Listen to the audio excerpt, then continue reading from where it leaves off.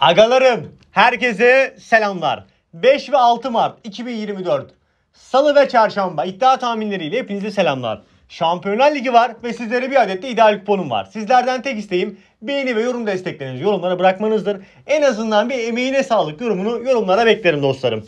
Direkt başlamak istiyorum. Hem de direkt maçlar güzel raporlarımızın. Maç skor yarışmamız var öncelikle. Daha önce skor yarışmalarıyla başlayalım. Real Sociedad'la PSG maç skoru ne olur? Bilenler arasından çekilişle bir kişiyi alalım. Real Madrid Leipzig maç skoru ne olur? Bilenler arasından çekilişle bir kişiyi alalım. Daha önce yapmış olduğumuz skor yarışmalarını kazananlar Sadık Aslan, Hüseyin Alsaç, Faruk Gülaydın. Galatasaray maçını kazananlar Engin Taş, Mehmet Şan, Yaramaz Bebek isimli YouTube kanalları. Bana Instagram üzerinden ulaşabilirler. Instagram hesabımız ekranda gördüğünüz Kangal Bey hesabıdır. Her türlü soru, görüş, öneri, gruplara girmek isteyenler de benimle buradan iletişime geçebilirler. Yüksek mislerle devam etmek istiyorum. Cuma yüksek misleriyle devam edelim. Çünkü cumartesi pazar olarak göstermek istiyorum. Cuma yüksek misli 3 tane yüksek mislimiz vardı. Lazio Milan'ın 1500'e, Ali İttihat maçına 500 TL, Fenerbahçe Beko'ya 1500 TL olarak girdik. Cuma günü 3'te 3 yaptık. Devam ettim. Cumartesi günü 2 adet ana yüksek mislimize baktığımız zaman da Fenerbahçe alır ve 1.5 üst 1.38 gibi orandan 2200 lira önerdim. Ve Avrupa yüksek mislimiz vardı. 1500 misli de 1.72 gibi oran bunu önerdim. Çünkü grupta oylama yaptım, anket açtım. %77'si zaten Avrupa'da olduğunu da belirtelim. Pazar mislisine baktığımız zaman da yine iki adet baba mislimiz vardı. Nesineye göre verilmiş oranlar bu arada baktığınız üzere. Lisbon ilk yarı bir City'nin kazananı doğrudan 1.62 gibi orana 1500 misli önermişken City'nin alır 1.5 üstüne zaten 1.30 gibi orandan da 1200 misli ayrıca önermişim. Tebrikler pazar yüksek misli bu şekildeydi. Aynı şekilde yüksek mislinin canlıları da yapılıyor. Sadece onlar değil canlı hem Avrupa'ya hem yasala görerekten yüksek misinin burada canlısı da yapılmakta. Bu şekilde canlı olaraktan da kazan. Mesela solda gördüğünüzde 350, sağda gördüğünüzde 500 TL gibi bir şey önermişiz.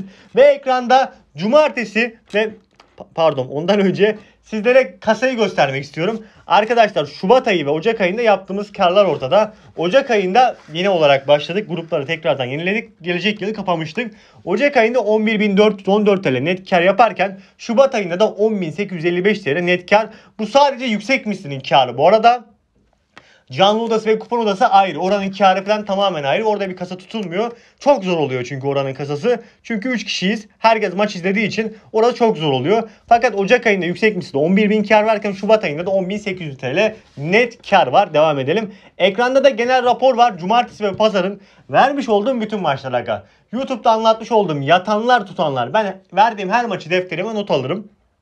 Okulda bu kadar not almamışızdır zamanında. Şimdi alıyorum. 2 Mart ve 3 Mart'ta vermiş oldum.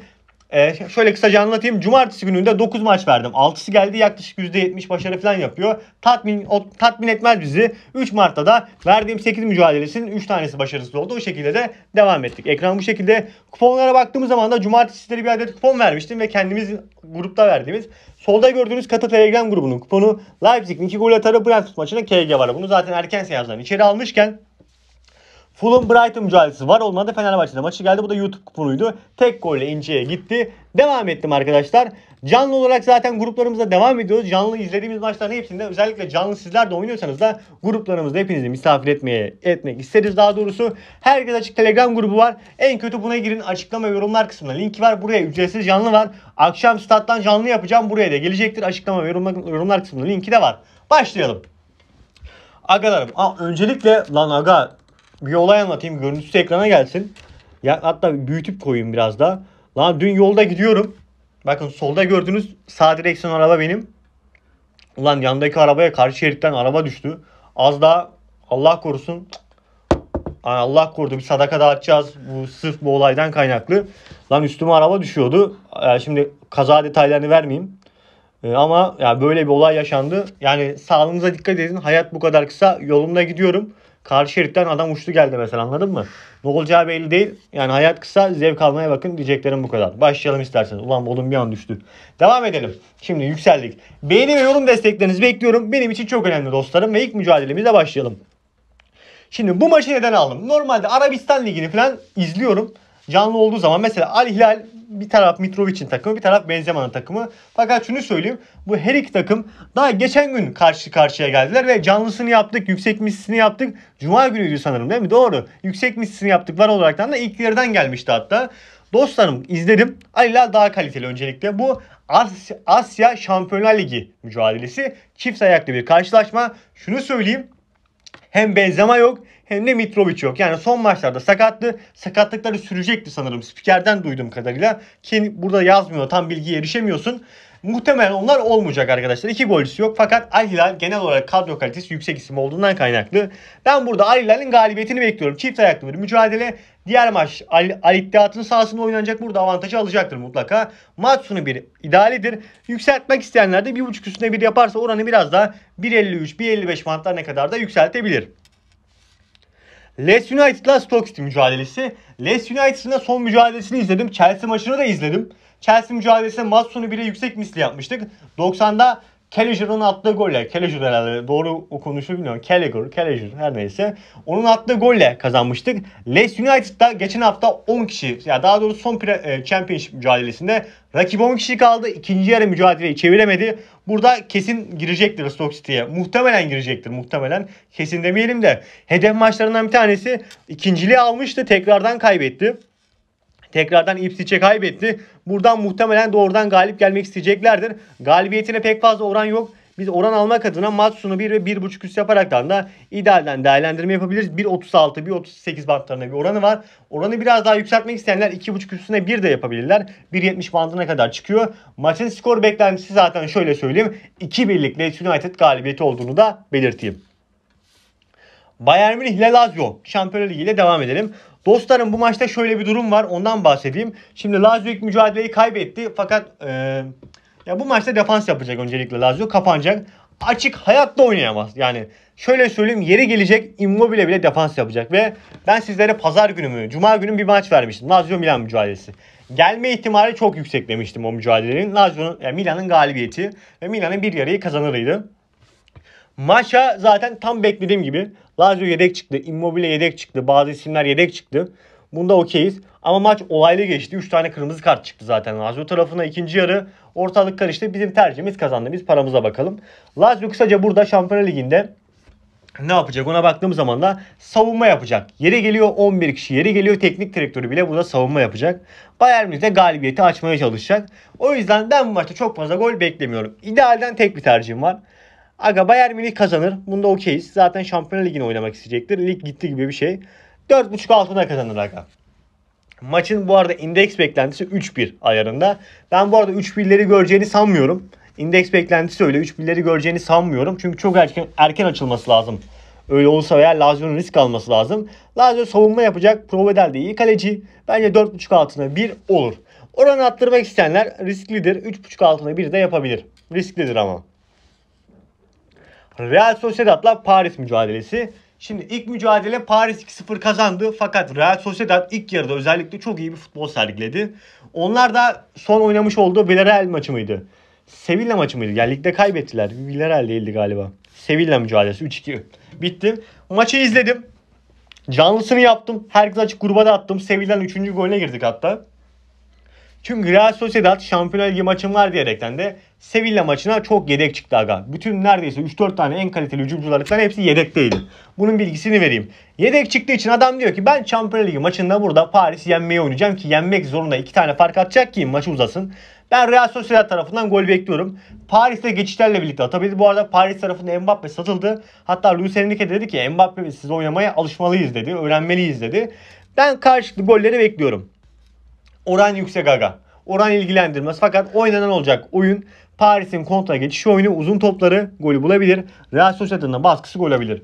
Karşılıklı gol var idealdir. Bir de yüksek orandan önermek istiyorum sizlere. Aga maçta korner olarak şu yönden değerlendireceğim. Birinci yarı en çok korneri burada Sociedad tarafı kullanabilir. Çünkü Paris tamamen geçiş oynarken Sociedad topu eline alıp baskı oyununu oynamaya çalışacaktır. O yüzden ilk yarı en çok korneri de Real Sociedad kullanabilir. Ayın altısına geçtim. 3 adet mücadelemiz var. Şampiyonlar Ligi mücadelemiz var. Aynı şekilde ideal kombinemiz e, ayın altısına bu arada. Sporting Lisbon maçıyla başlayalım. Beğeni ve yorum desteklerinizi bekliyorum. En azından bir yorumlara emeğine sağlık yazarsanız kupon da vereceğiz. Artı 500'ü görelim dostlarım. Şimdi Sporting Lisbon Atalanta mücadelesi. Atalanta son mücadelesinde Bologna'ya 2-1 mağlup oldu. Daha dün oynandı mücadele. mağlup oldu. Sporting Lisbon'da 3-2 galip gelmesini bildi. Şimdi Lisbon kendi evinde çift ayaklı bir mücadele bu aynı şekilde. Yani e, UEFA liginde UEFA Avrupa'da diyeyim en güzel eşleşmelerden bir tanesi. Net ilk ikiye girer zaten. Ben burada Lisbon tarafındayım. Lisbon tarafındayım agalar. İdeal kombineme şu yönde değerlendirdim. Ev sahibi diğer seçeneğinde var bu. Lisbon tarafı bir yarıyı kazanır şeklinde. İdeal kombinemi de aldım koydum. Hatta ben Lisbon'un burada doğrudan galibiyetini de bekliyorum. Hatta şeyi düşündüm dostlarım. Atalanta tarafı da yani o orta sahayı beşliyor ya. Bekleri çok kullanıyor Zapacosta vesaire. Korner çıkar mı diye düşündüm de. Yani deplasmanda olduğu için kornerine girmedim. Ee, diğer ayakta kornerine mutlaka gireriz. Şimdiden söyleyeyim. Ama burada Sporting Lisbon'un diğer seçeneğinde bulunan ev sahibi bir yarıyı kazanır değerlendirilir. Yüksek oranlardan Sporting Lisbon'un ben burada galibiyetini beklerim. Manchester City ile Kopenhag. Yani çok fazla konuşmaya gerek yok. Oran alamazsınız agalar. Kesinlikle oran handikapına 1-2.5 üstüne hiçbir şekilde oran yok. Değerlendirecekler ilk yarıdan bir City galibiyeti değerlendirebilir. Ya bunda zaten verilecek başka bir şey yok. Yani mücadele çok fazla gollü geçer mi? Sanmıyorum. Yani 4.5 altın oran vermişler mi? 4.5 altında biri. 1.47 bandında. Ya ki City'nin sağ solu belli değil. United sağlam ezdiler. Öyle bir oyun çıkartırsa Kopenhag'a yine skor çok olabilir. Ama o kadar çok oran çıkacağını ilk yarı 1-0 2-0 öne geçtiler. Ondan sonra Rolante 3-0 ayarında mücadele bitebilir. 4.5 altında da bir de Real Madrid ile Leipzig karşılaşması. Bu maçı da ideal kombineme aldım. Real Madrid deplasmanda 1-0 galip geldi. Leipzig iyi oynadı. Fakat Real Madrid'in hafta içinde e, hafta sonunda galiba 2-2'lik bir mücadelesi var. Hakem maçı bitiriyor. Bellingham golü atıyor falan. Ortalık karıştı. Kırmızı kart falan gördü de Şampiyonlar Ligi'ni etkilemiyor o maçlar. O yüzden ben buradan Real Madrid'in doğrudan galibiyetini aldım. İdeal kombineme de koydum. Real Madrid bence kazanır. Şampiyonlar Ligi'nin babasıdır. Real Madrid'in galibiyetini aldım. Oran almak isteyenler 1.5 üstüne bir Real Madrid galibiyeti de bekleyebilir. Onun oranı 1.80 bandına kadar da çıktığını pardon 1.60 bandlarına kadar çıktığını da söyleyelim. İdeal kombinem var. Beğeni ve yorum destekleri geldiyse ideal kombinem de ekrana gelsin. Dostlarım ideal kombinem 6 Mart gününe Sporting Lisbon ve Real Madrid maçları. Ben Sporting Lisbon'un ev sahibinin bir yarıyı kazanmasını bekliyorum. 1.51 gibi orandan değerlendirdim. Real Madrid'in 1.46 gibi orandan Real Madrid'in doğrudan galibiyetini değerlendirdim. Toplam oran 2.20. Şansım ortak olacaklara bol şanslar. Beğeni ve yorum desteklerinizi bekliyoruz. Teşekkürler. Bol şanslar.